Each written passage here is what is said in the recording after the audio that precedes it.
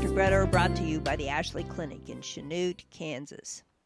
What's soft and brightly colored, feels squishy, is fun to play with, and can cause bowel obstruction? Well, water beads. Yep, the CPSC, Consumer Product Safety Commission, and a company that has made these little sensory round balls have pulled them from the market because there have been at least two children that have died and at least maybe one other who's had some obstruction. And what was the issue? Well, they are so pretty and they were sold as sensory toys for kids to play with. So the kids would play with them, and guess then what they did? They put them in their mouth and they would absorb water through not only the mouth but the intestinal tract. And this is where then they would cause a serious obstruction, enough that they would die.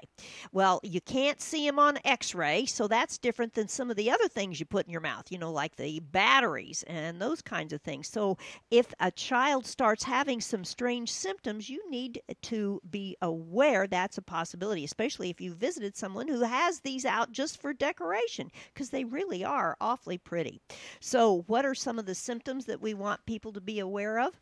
Well, certainly if a child suddenly has a change in behavior, refusal to eat, noisy breathing or wheezing, uh, or just as acting like they're having terrible abdominal pain, vomiting, irritability, you want to go to have them seen right away, and especially if they are really little.